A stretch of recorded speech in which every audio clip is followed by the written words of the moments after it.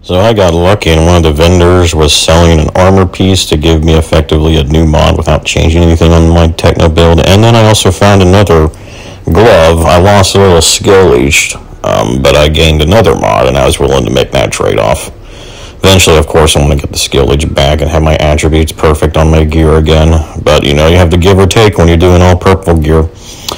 Um, but yeah, I was able to get two more mods on this dude. I got bad medicine immediately, because bad medicine helps my damage for one, but then also helps my teammate damage, helps them inflict toxic everywhere. Just another good support debuff, and I think it works really good when you're all together too. Just unleashing waves of toxic venom everywhere. Um, the problem, as usual, with my Techno is that his clear times and his focus damage, or not his focus damage, but just his his crowd control damage is just inferior to all my tank all, all my other tank builds. The difference is he is a super tank and also a super support healer to the extreme. Support buffer.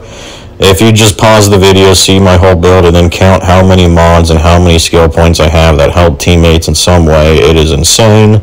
If they're far away from me, they're getting an insane amount, but if they're close to me and my turrets, they're getting a ridiculous amount of buffs, healings, and nonstop. So I love this build actually for a super team support build. And I also uh, equipped Nicola's Revenge and got a super lightning gun with my super pyro gun. Because um, I realized having a lightning gun as an alternative with Nicola's Revenge, as you see in this video, it uh, really helps the crowd control damage on this dude. I wasn't using it before, because Nicola's Revenge doesn't really do much damage at all if you just have one dude with no one near him. But I notice it's like a, it's basically a damage, um, it's like a shared damage thing. When you're shooting a dude, you actually start doing more damage to that dude too if there's ads near him. It like spreads the damage and enhances it whenever there's mods around everybody you're shooting.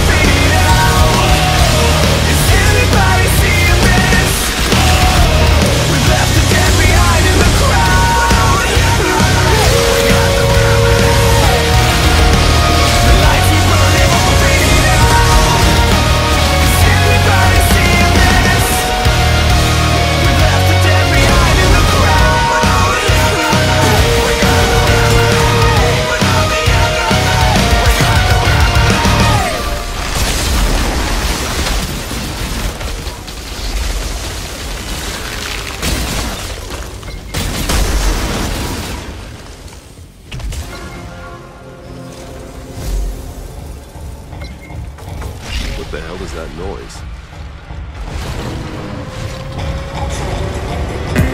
We took it all apart, but I'm wishing I'd stay.